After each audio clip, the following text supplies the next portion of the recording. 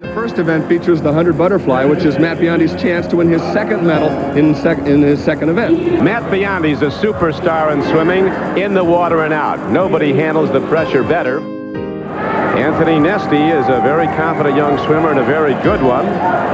He's from a little country called Suriname, which is on the north coast of South America. Of course, if uh, he wins, he'll be the first guy for even medals. He'll be the first to win a medal in swimming for Suriname.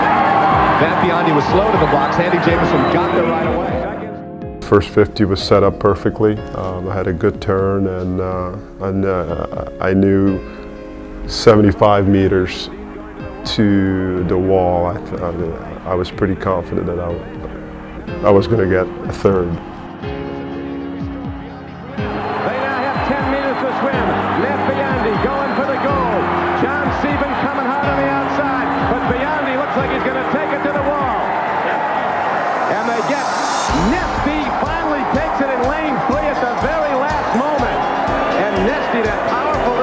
From Suriname, found a way and he beat out Biondi in the very last stroke of this race. It's like uh, a dream come true, especially from a guy from Suriname going at a big stage um, and, and performing at that level. You know, when I was growing up, that was the story because the guy he beat wasn't just any other guy. He was supposed to be the next Mark Spitz, and, uh, and so it was a huge upset. And it, you know, I think everyone in America back then remembers that race because of that.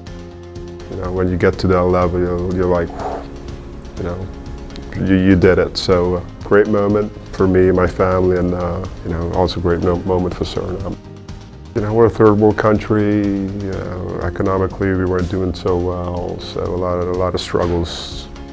53 seconds um, changed all that. It was a very prideful moment for Suriname because uh, those 53 seconds, everybody forgot about all the, the struggles, and uh, they put that behind them, and they really celebrated the fact that uh, one of them made it to the highest level of swimming. But today, the biggest man in the nation of Suriname is 5 foot 10 inch Anthony Nesty. Olympic gold in the 100 meter butterfly. You can have the biggest dreams, believe in those dreams because you never know, it may come true and in my case it did. From a guy from Suriname to say that, uh, I think it's just a testimony that uh, anybody can get there.